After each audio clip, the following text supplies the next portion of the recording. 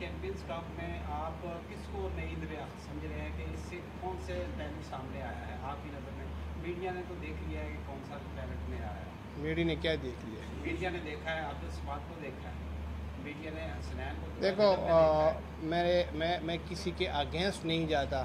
مگر میں ہمیشہ یہی آپ لوگوں کو بھی یہی کہتا ہوں میڈیا والوں کہ یار کسی کو ایک اننگس پہ اتنا لوبر لے کے جاتے ہو نا کہ بلا آ گیا ہے یہ آیا فلانا آیا ڈمکان آیا۔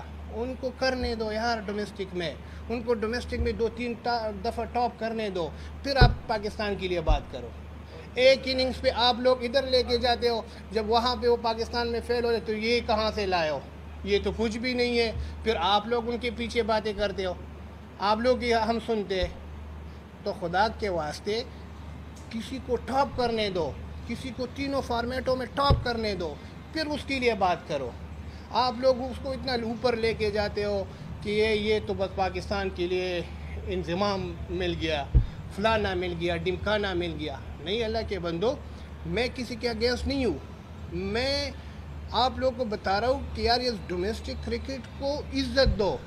جہاں پہ ڈومیسٹک کرکٹ میں ایک بندہ پرفارم کرتا ہے، ٹاپ کرتا ہے تینوں فارمیٹ میں، پھر اس کے لیے آپ بھی بات کرو، میں بھی کروں گا اور ہر کوئی کرے گا۔ مگر اگر ایک ان آپ لوگوں کی وجہ سے تو سارا کرکٹ کا وہ جو سارا ماحول ہے وہ خراب ہو گیا ہے۔ اس کا وجہ یہ ہے کہ آپ لوگ ایک اننگس پہ بندے کو اوپر لے کے جاتے ہو اور پھر اسی بندے کو آپ لوگ گرا دیتے ہو، ان کے پیچھے پڑ جاتے ہو۔ پھر وہ بلہ، وہ کہتے ہیں کہ میں جو بلہ پکڑ رہا تھا وہ کس طرح پکڑ رہا تھا۔ تو یہی ہے کہ یار ہر کسی کو تھوڑا کرنے دو۔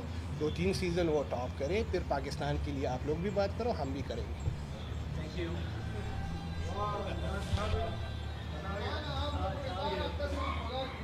آپ لوگوں کی وجہ سے سارا کرکٹ تباہ ہو